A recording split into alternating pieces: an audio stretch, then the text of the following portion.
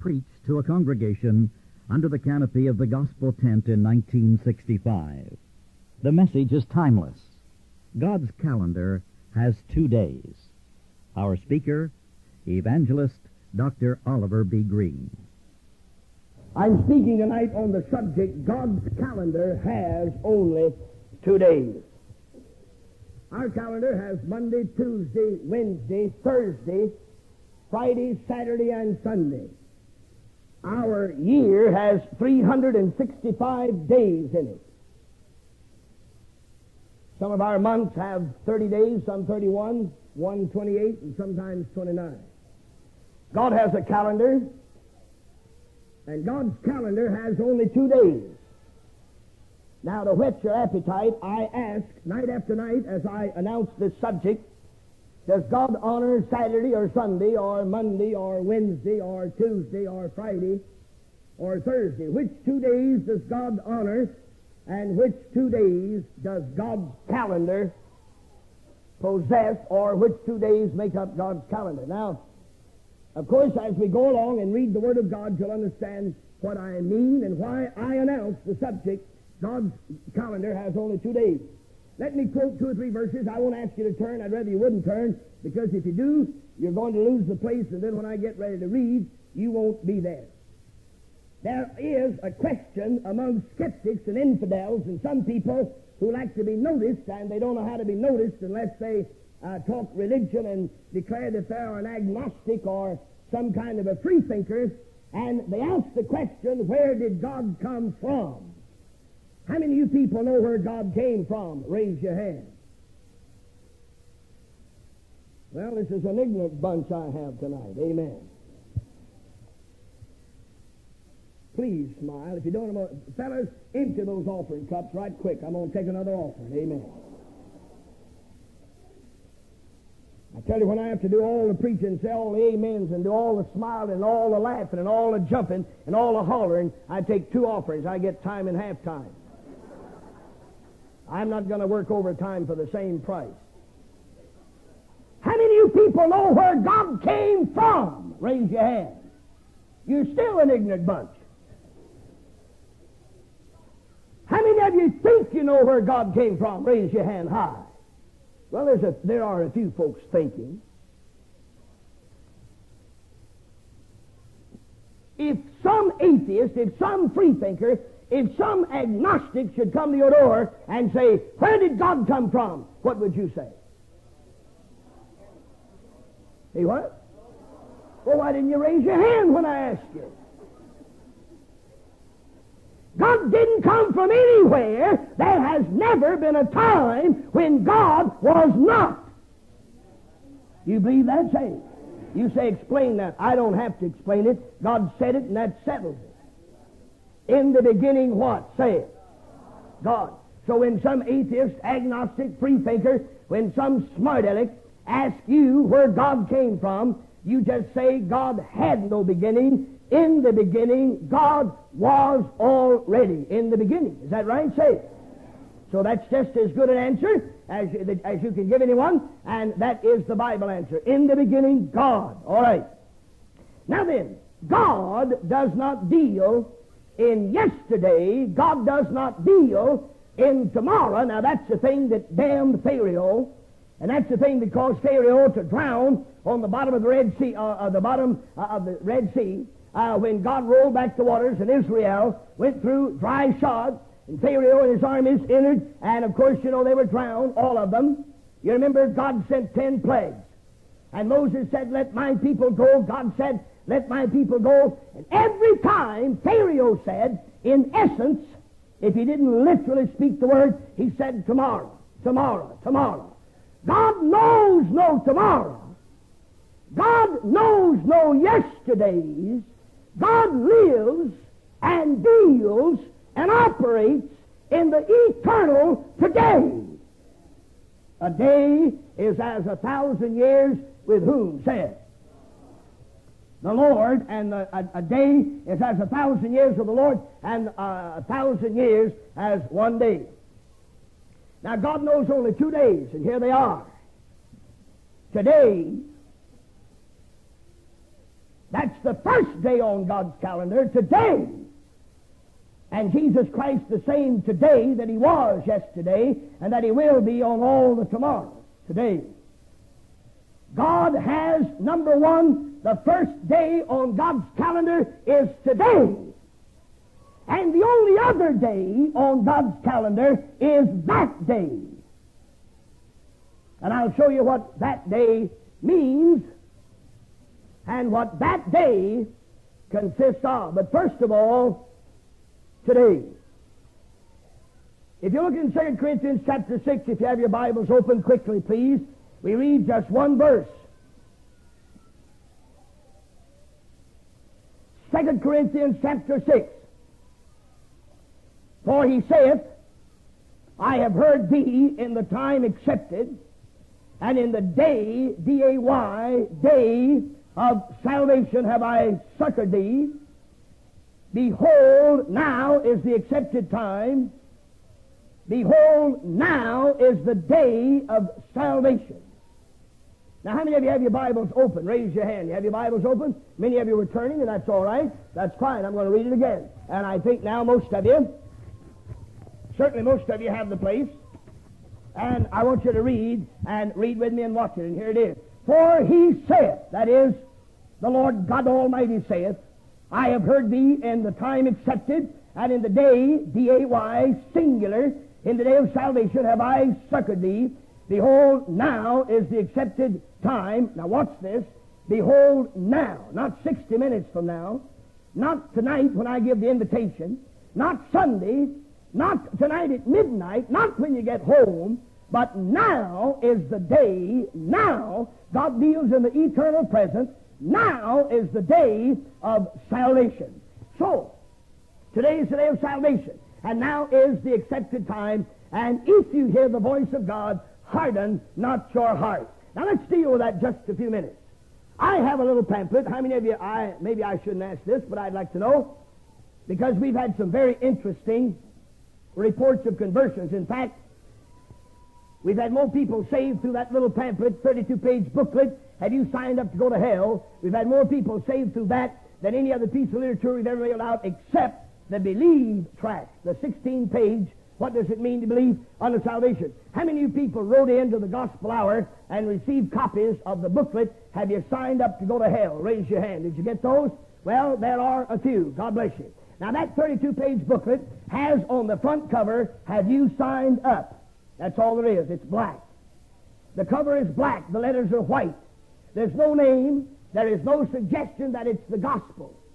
Listen, beloved. When you give a sinner a tract with a Bible on the front, or a cross on the front, or some wording on the front to suggest to that sinner that this is an invitation to be saved, sometimes they throw it down, they lay it down, they never read it. But when a man gets a pamphlet or a booklet in the mail, and he opens it, and he looks on the cover, and he sees the words, Have you signed up? He's going to look inside to see what he's going to sign up for because he may think that somebody's giving away a Cadillac. Amen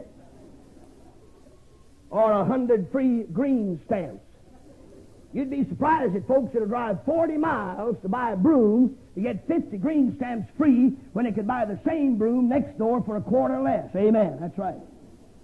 That's the American people. But when a man sees a booklet and on the front cover, have you signed up? He's going to look inside. And on the inside, in big red letters, have you signed up to go to hell? Now let me show you something here, and then we'll move on quickly. The devil, listen to me, look at me, and, and look at me now, and I'll tell you when to look at your Bible. The devil is too wise, too smart, too shrewd, and too cunning to ask any man to sign a contract never to be saved. He just wants you to give him one sermon, one altar call, one invitation stanza, and one service at a time. And if you'll give him this service, He's not worried about tomorrow night. There are 10,000 ways you can go to hell before tomorrow night. Today's the day. But now wait. According to my watch, it's 20 minutes, about 20 minutes until 8 o'clock, 9 o'clock, 20 to 9, 21 till 9 in that neighborhood. There are three hours and 20 minutes left in this day. This day started last night at midnight. There are 24 hours in a day. There are 60 minutes in an hour. There are 60 seconds in a minute. And it doesn't take 60 seconds for you to die and go to hell. So the Bible says today's the day, but it narrows it down to now. Right now is the accepted time. Some of you folks attended the Williamsport meeting. I could stand here for a solid hour and tell you about cases in Rocky Mount, Goldsboro, Henderson, Greenville, South Carolina, Williamsport, and other places where people have dropped dead in my tent or dropped dead immediately after they left the tent or they've gone out to meet God before they ever reached home. I'm thinking of a man over in Williamsport. He and his precious wife came in from Philadelphia. I can see them now. They sat on the second bench. They looked straight up in my face the whole time I preached. I didn't know it, but they had the room in the same motel where I was. They had the room next to me. And they sat in the tent and they listened to the sermon. And we had a big crowd that night. They didn't come up and speak to me. They went on to the motel because they were tired. And the next morning, just before 7 o'clock, I stepped out the motel door and I was going to the automobile waiting for my wife and David. We were going down to the restaurant to get breakfast and I heard a lady scream and the door next to my door came open and a lady ran out of the room screaming, Get a doctor! Get a doctor! Get a doctor! And I rushed to the motel office and I told the lady in the office, Call a doctor. There's a man grievously sick in the room next to me, and she called the doctor, and I rushed back to the room, and that poor woman was down over that man with her mouth over his mouth, trying to get him mouth to mouth respiration, trying to get breath back in his lungs, and I picked up his arm, I felt of his pulse, I listened to his heart, and I didn't say a thing to that precious lady, but I knew she didn't need a doctor, she needed an undertaker. That man drove his automobile from Philadelphia to Williamsport, spent, came to my meeting, sat in the meeting, enjoyed the meeting, went home, went to bed, healthy, feeling good, on a trip, going on a vacation, went to bed that night and slept all night. And the next morning, when he sat up in bed and put his feet out of the bed to put his trousers on, he fell over in the floor dead.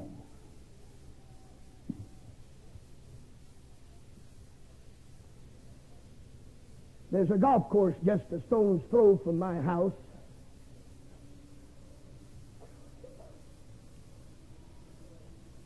And just a couple of days before we left home, a lot of you fellows, I'm sure, play golf, or at least some of you do. This 41 year old businessman, 41, I'm 50, nine years older than he, 41 years old, walked out and fixed his ball and was out there to get some fresh air. The, the golf course is right at the foot of a little mountain. We live in the foothills of the Blue Ridge Mountains. We live only 30 miles from Asheville, so we're in the hilly part of our state, and this golf course is out there at the foot of Paris Mountain. And this man's going out there to breathe some good, fresh mountain air, going out to get some sunshine, going out to relax to get away from the office, to get away from the nerve-wracking grind, and he put his ball in the position, and he took his club in his hand, and he raised back to hit the ball, and dropped dead. Listen, brother, the only safe way to live today is to live exactly like you want to be living when you die. Folks die with their shoes on today.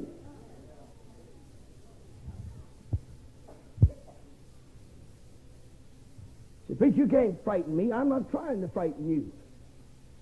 I'm trying to hold the naked, unvarnished truth before your eyes.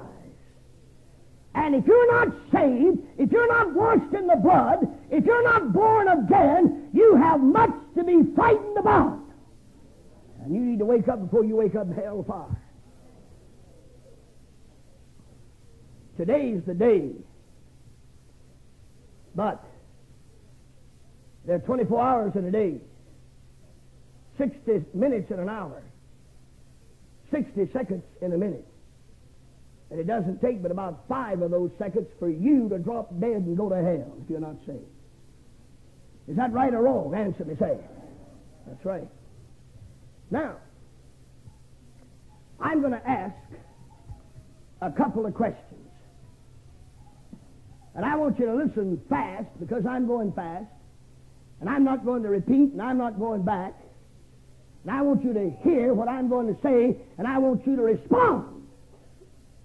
How many folks in this tent tonight are just as cheerfully go to hell as go to heaven, and it doesn't make any difference to you if you do go to hell? Raise your hand. You just as soon go to hell as not. Put your hand up. I didn't expect any. I've quoted the verse, I guess, in almost every sermon I've preached. I know I've used it a couple of times. We read in 1 John 5.10, He that believeth hath the witness in himself. He that believeth the record that God hath given of his Son, he that believeth the record that God hath given concerning the death and the burial and the resurrection of Jesus for sinners, he that believeth hath the witness in himself. Is that Bible say? Here's another verse, Romans 8, 9. If any man have not the Spirit of Christ, he's not of his. Here's another verse, Romans 8, 16. His Spirit beareth witness with our spirit that we are the children of God. Is that right? Say. Here's another verse, 1 John 3.14. We know, we know, we know that we've passed from death unto life because we love the brethren. Is that scripture say, huh? I'm going to ask you one more time. How many of you folks don't care if you go to hell? You just soon go to hell as anywhere else. It doesn't make one bit of difference to you if you go to hell. Put your hand up. It just don't matter. All right, I'm going to ask you another question. Listen very carefully and answer quickly. How many of you know as surely, as truly, and as positively as you know you're breathing? You know you're saved as truly as you know you're breathing. Raise your hand, huh? All right, take it down. You say, Preacher, you didn't even look. I didn't want to look. I didn't ask you to do that for my benefit. I asked you to do that for your benefit. And if you don't know that you're saved just as truly and just as surely as you know you're breathing. I'd hate to die with your brand of religion. You say, Preacher, I don't think anybody knows it. You must have thought that. You didn't get it out of the Bible.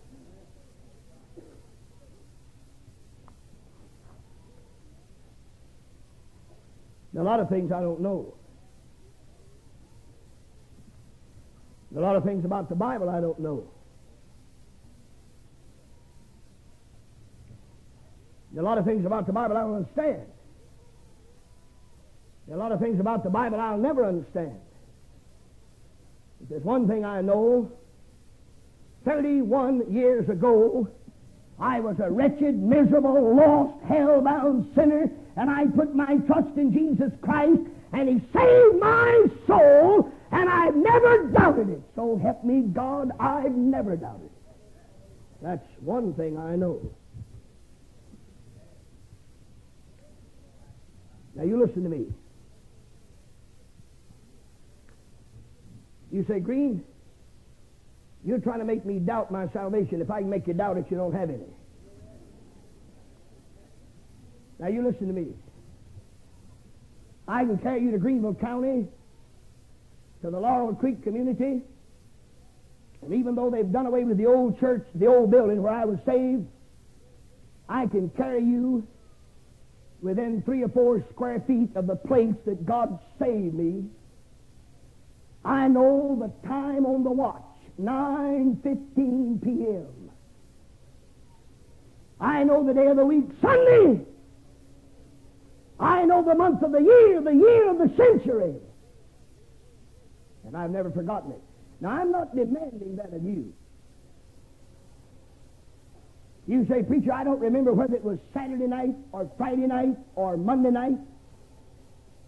I don't remember whether it was 19 and 35, 39, 41, 46. I don't remember whether it was 8 o'clock at night, 10 o'clock at night, or 11 o'clock at night. That may be true.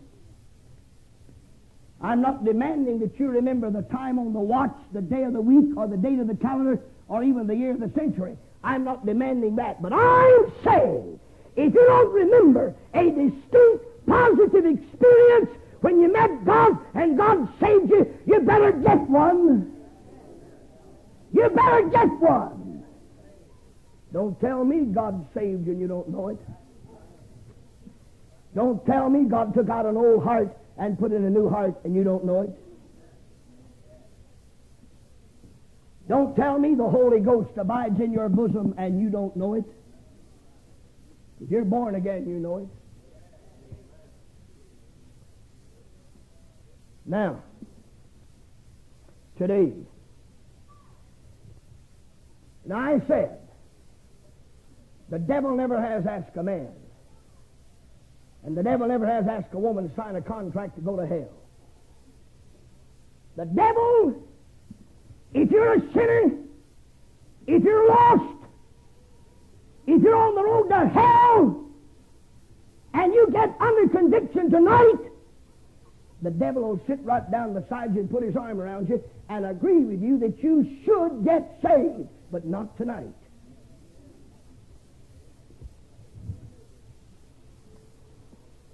The devil never has told any man that he should never get saved.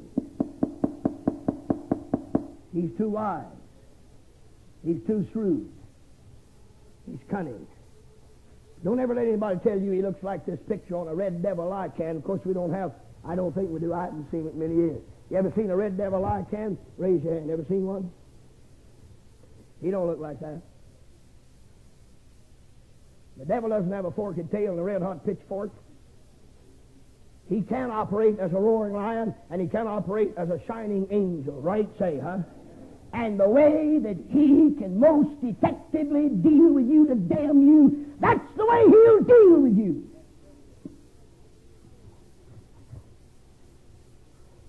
Now look up here at me just a minute.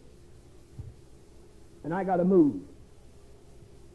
If you're here tonight and you're not saved, you plan to be saved, you intend to be saved, and if I've heard this one time, I've heard it a thousand in 30 years.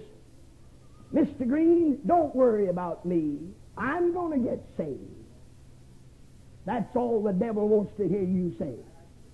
That's all he wants to hear you say. Don't worry about me, Preacher Greene. Don't worry about me. I'm going to get saved. You're going to hell. That's what you're going to do. You better come to yourself, come to your senses, and come to Jesus now, right now.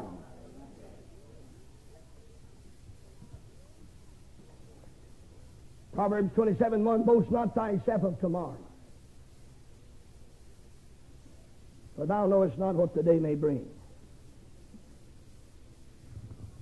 And then I'll have to suggest this, and then I'll move to that day. I'm talking about today now. You say, Mr. Greene, and I've had this.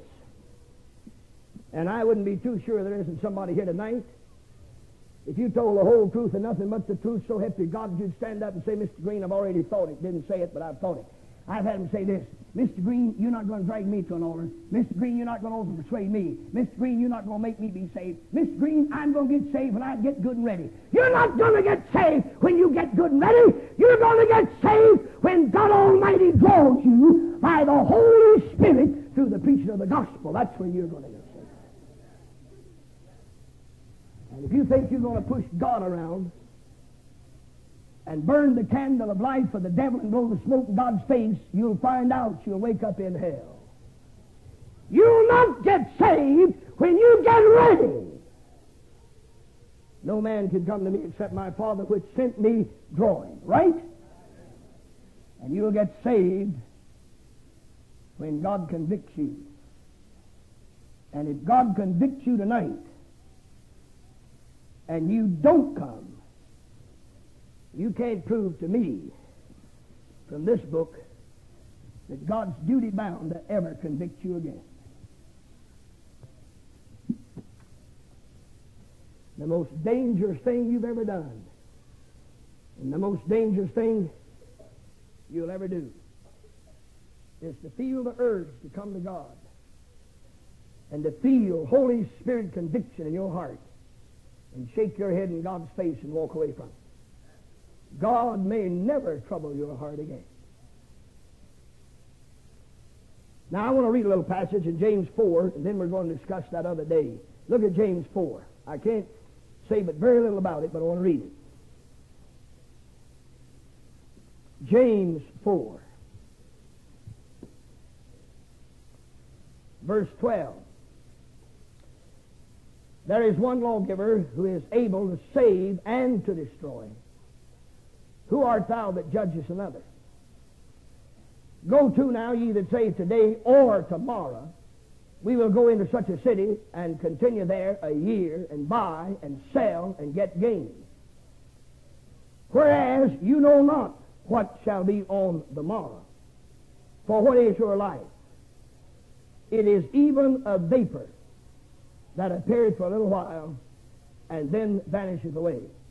For that ye ought to say, watch it, you ought to say, if the Lord will, if God wills, we shall live. See? Now look at your Bible.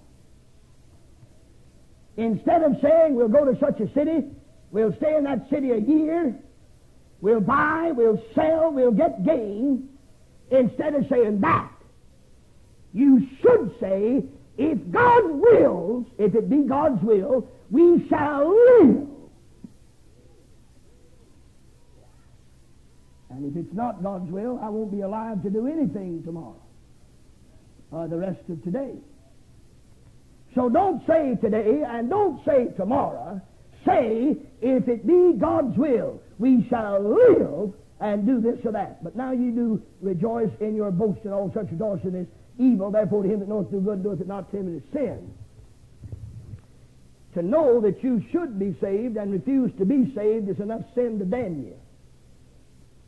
And all you need do to be damned is to refuse to believe on the Lord Jesus Christ, and you'll be damned for refusing to believe on Him. Is that right? Say.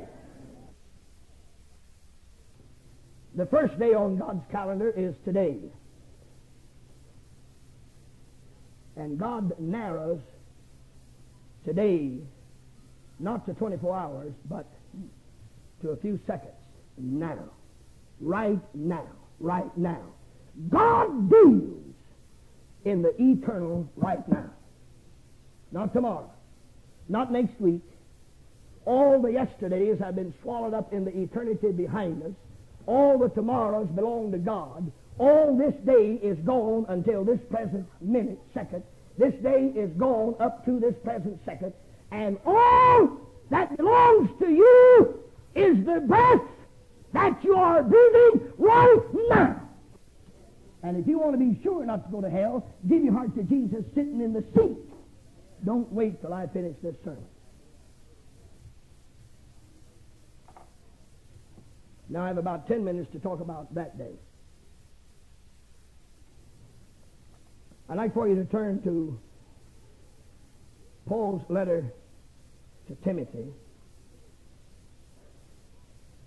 second epistle, chapter 1. 2 Timothy, chapter 1.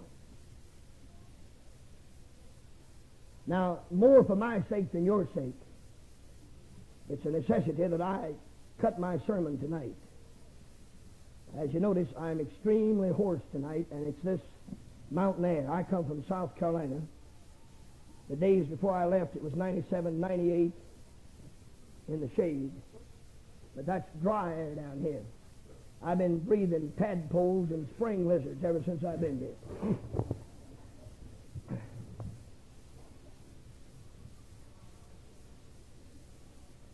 Now, some of you look like you think I'm cracked. I am. That's where the light got in. Amen.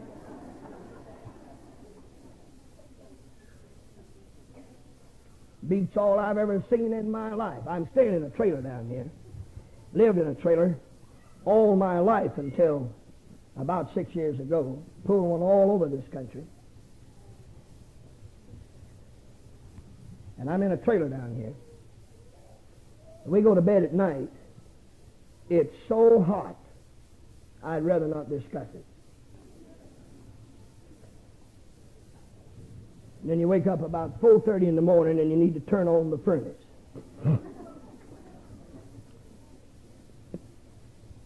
now, I'm not finding fault with your mountains. I thank God for the mountains. You know, I didn't have to come here, you know. I could still be in Greenville. So I'm just telling you why I can't uh, talk. Yeah, I got uh, throat full of spring lizards.